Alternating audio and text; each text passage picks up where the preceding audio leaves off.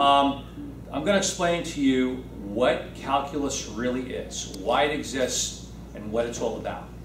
Now, if you want to find the slope between two points, there's a simple formula. m equals y2 minus y1 over x2 minus x1. Actually, that's really what calculus is all about. I'm going to explain. We know that distance equals rate times time. So the rate or speed will equal distance over time. So if we have a car that's starting here and getting to this spot, of course, you know, say a couple hundred feet or a couple hundred yards, um, and this car is constantly accelerating, meaning getting faster and faster and faster, how can we determine its speed?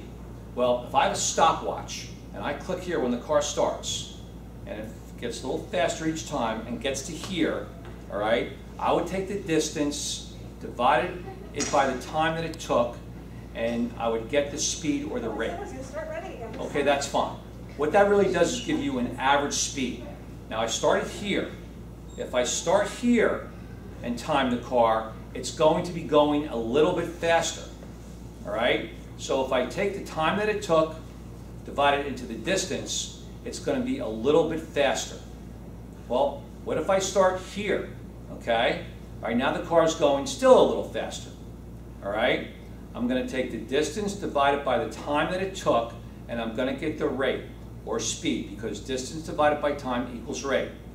So I got the rate here or the speed.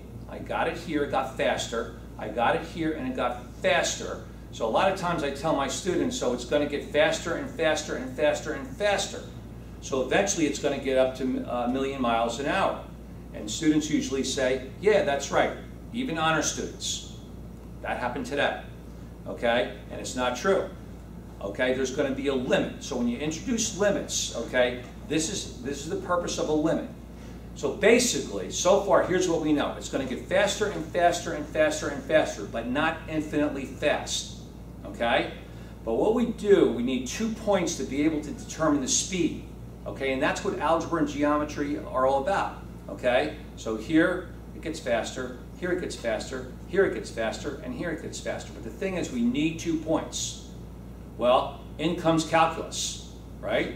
Calculus, okay, is going to get the limit okay, as that, um, as that distance gets smaller and smaller and smaller, and actually calculate its instantaneous speed, which I'm going to show in a few moments. So that's why calculus is so, is so important. You are basically finding the slope of a tangent line with only one point. In the, in the beginning of this video, I said that it takes two points to be able to determine what the speed is. Okay? So calculus is another area. It's way above everything else, but it starts with your Algebra 2. Thank you.